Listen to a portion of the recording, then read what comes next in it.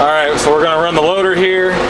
We got a newer style joystick. This is a newer loader. I don't think it's very old, six years maybe. So here we are. Let's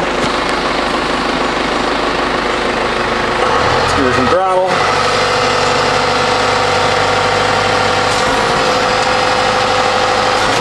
Roll the bucket back. Dump the bucket. Let's lift the tractor up.